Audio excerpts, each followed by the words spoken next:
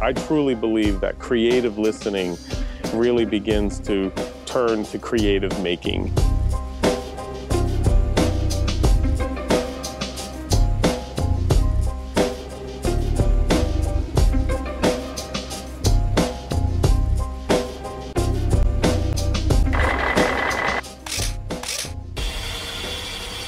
I am Dan Pitera, the director of the Detroit Collaborative Design Center at the University of Detroit Mercy School of Architecture, and I am the co-lead for the civic engagement for the Detroit Works Project Long-Term Planning.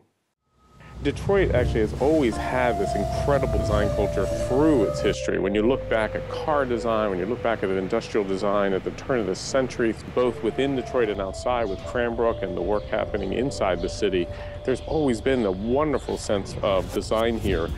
Now it is becoming reborn, picking up on the tradition of great design in the city and I think are inspired again to a level of um, not just local but national recognition.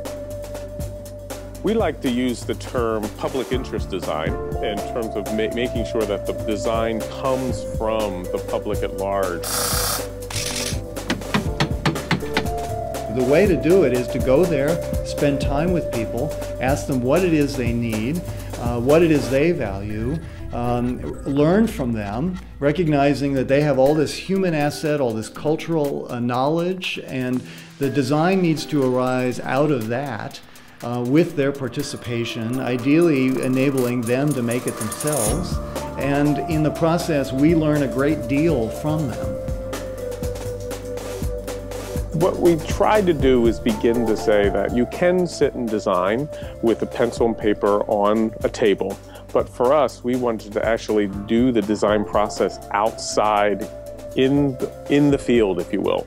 So one of the things that we did with community was bring everyone together on the outside, and we created these um, graffiti circles. We we cut out circles of um, of cardboard and had people paint verbs on those circles, activities that people do, and then place them all around the site. And the site is a one block long site. So all over they had things like painting and waiting and running and playing, these verbs that would then in, um, fill the site.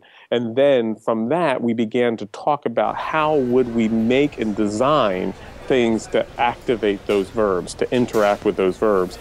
And we worked with that as we then went back to our office and started designing in a more traditional sense, if you will. We utilized all that process in, in our design process, where uh, expertise is celebrated, from being a resident in the community, that is an expertise, to being a engineer, to being a librarian, to being a contractor, being a, a service provider, all that expertise brought together to allow it to become the driver for design. It's a new way of thinking about the role of professions. Professions have largely de skilled people and have sort of assumed that we're, well, we're professionals, we know what you want, in this very pandering, paternalistic way. Public interest design flips that people know a great deal. Humans, like every other species on the planet, know how to make their own shelter. It's simply been uh, taken from them by professions.